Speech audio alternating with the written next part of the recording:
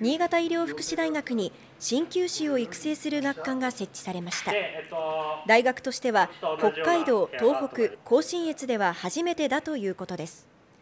鍼灸の日である4月9日には記念披露会が行われ実習施設が公開されました。今年度は23人の学生が資格の取得を目指して学びます。